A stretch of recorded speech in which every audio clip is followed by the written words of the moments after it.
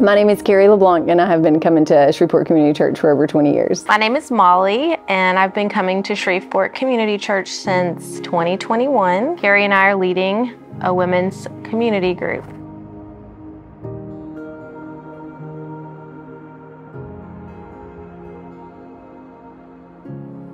Just personally thinking about why in the past maybe I wouldn't have gotten in a group thinking, well, they're already friends with each other, I'm not gonna fit in with them, and also busyness. But for a woman just to say, I'm gonna do this for myself, I think that can be hard. We live in Instagram culture. We wanna hide and we wanna filter everything. We want it to look like we've got it all together.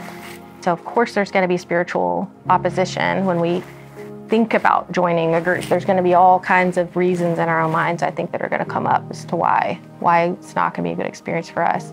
And also that fear of what if they don't accept me? I might be different than they are. I've gone through things that they're not going to relate to or understand. And what if they find out about these things that I've been through and they and they judge me for it? I know that's a weapon of the enemy to keep us from from being known because when we're known and we're still loved and we're connected to other people through our own experiences, our own faults. I mean, there's so much healing that can happen in that.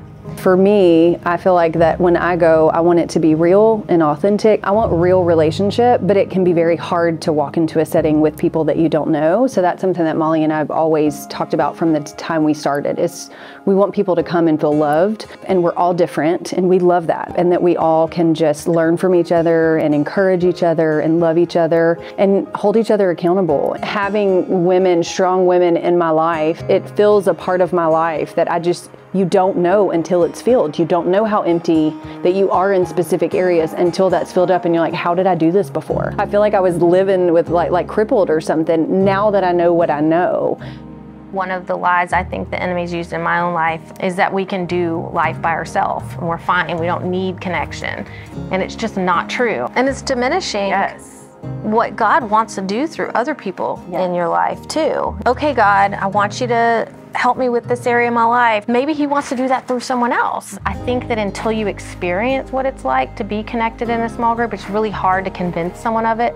And so, again, it's like just try it, just show up and see what God does. I just think that that's the model for how we're supposed to be doing this whole walk.